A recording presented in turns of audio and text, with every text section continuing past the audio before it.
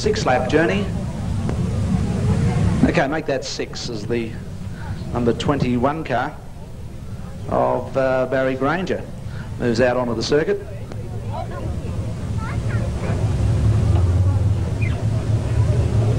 And we've been told that uh, Barry Granger, in fact, is not the driver of the uh, number 21 car at this stage. We're told that uh, Barry Granger has indeed been uh, admitted to hospital with uh, severe chest pains, we've been told. So uh, we'll see if we can keep you posted on that. And it would seem that John Laws is possibly behind the wheel of car number 21. That was going to be the scheduled driver for tonight's Grand National feature.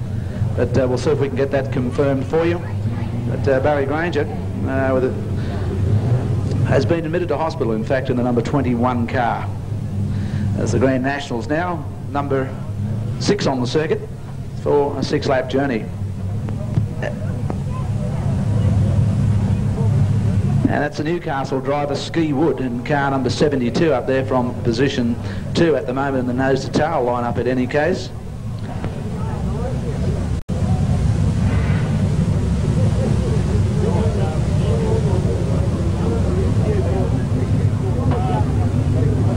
Car number 33 is Peter Hogan. Peter Hogan in the number 33 car. Back then to Ron Spink in the number 4 car.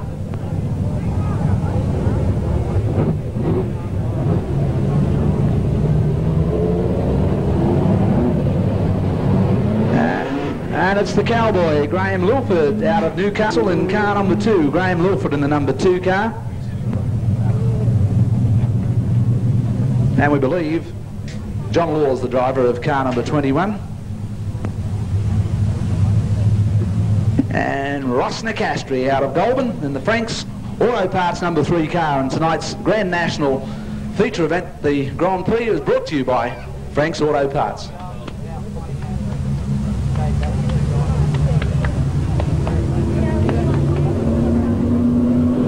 Okay, green flag flies with event number 9A, Grand National Sedans for a six-lap journey. Ross Nicastri catches the flyer through from the back in the number three car and sets up a third running in the number three car. Cowboy Lilford sitting in position two. And the race leader is Peter Hogan as Lilford gets by on the inside on turn four.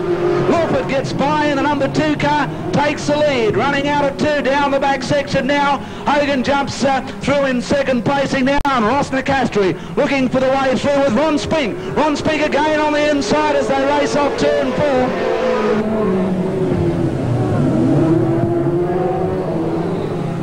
back to the tail enders. I think you can forget the rest at this stage as Graham Lilford goes ahead by four, five lengths possibly as he races off turn four as the leader now and Ross Nicastri gets through into second running. Peter Hogan relegated back to third and now under siege from Ron Spink as they race out of turn two. Lilford unchallenged down in three. Nicastri attempting to pick up the deficit at this stage as he races onto the main straightaway. And Hogan's gone turn four but regains, still holding down position four.